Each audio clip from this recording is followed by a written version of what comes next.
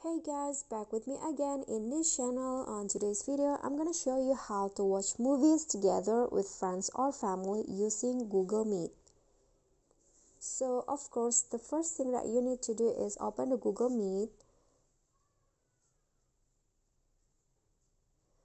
Okay, so if you want to uh, watch movies together, you can do the uh, you can use the share screen uh, feature on Google Meet and I'm going to show you how. So click on the new meeting and here you can just uh, if you want to uh, share the link first you can get a meeting link to share or if you if your friends or family are ready uh, to uh, join the meeting you can just click on start an instant meeting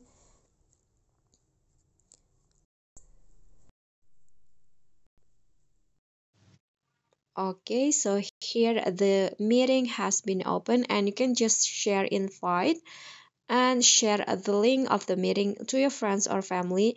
And then when they join you can just click on the three dots icon and here click on share screen.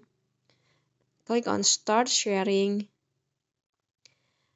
And now you can just go to the movies. Uh, you can choose the movie from your gallery for example but or if you are using uh, for example uh, the third party like netflix disney plus or etc you can open that and uh, start watching it together with your friends or family.